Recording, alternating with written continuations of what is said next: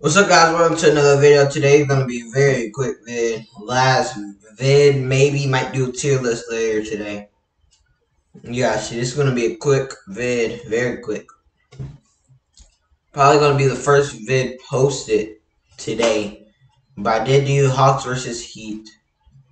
Um, Lakers versus Mavs. And Pelicans versus Magic.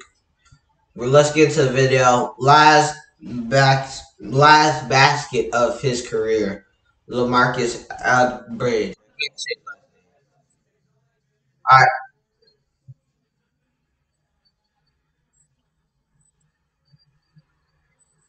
Nice. All right, guys. See you guys next time.